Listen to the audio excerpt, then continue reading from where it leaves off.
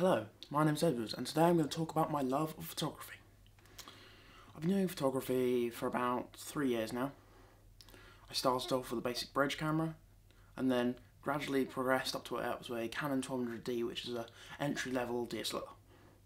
Last year, I thought I would move on, and instead of sticking with Canon and moving up to something like a 70D, which is more of a kind of video camera than photography camera, uh, I switched uh, brand and went for a Nikon D7200. Currently I have the 1855 standard, standard lens on this. This is the kit lens which comes with the camera. But I have quite an interesting selection of lenses behind me, including one of my longest lenses that I use with this camera, which is my 7300 Sigma. I also have a 55 to 200 Nikon and a 24 to 70 millimeter Sigma there, as well as 28 to 80 millimeter behind me on the shelf. Now, if I've spoken to you about what I what I like doing, you'll know that I I'm also quite into video, which is why I'm doing level two creative productions, so I can do video productions and music tech and a bit of game. So I'm currently filming this on my JVC GY150 where I'm completely fitted out with a Rode mic and there's video light on the top, which is why I'm all shiny. Woo, woo.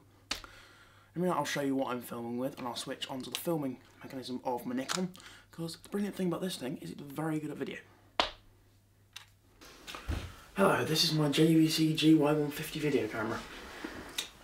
I mainly use this for railway videography, occasionally nature, and I usually do interviews with it.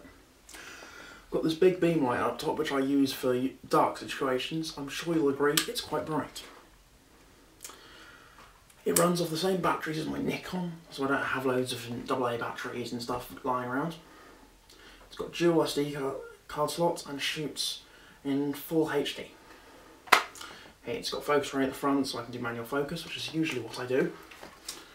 And it's quite good. It's small, so I can carry it one-handedly like your classic video camera. Got my Rode NTG2 up top here with big fluffy thing, also known as a dead cat. Yes.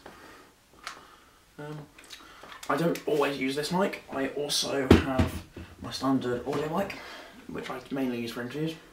It's a Red 5. And yeah.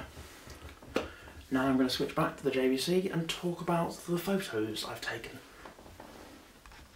I take a wide range of photos, mostly of the railway industry, because I travel a lot, I use the railways quite a bit to travel to different locations to do photo shoots.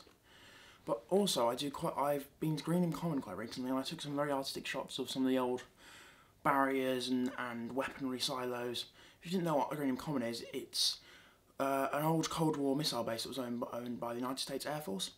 So those old gates with the peace women, which were, who didn't want any of the nuclear missiles to be launched, would chain themselves to.